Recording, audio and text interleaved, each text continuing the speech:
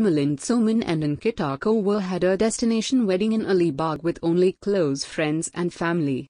The duo are celebrating their one-month wedding anniversary with throwback photos on Instagram. Both Milind and Ankita wrote heartfelt messages for each other. Sharing a photo from their Mehendi ceremony, Milind wrote, Seems like yesterday. While Ankita's Instagram post read, One month since the day and you always make me crinkle. Milind Soman and Ankita Konwar dated for four years before they decided to get married.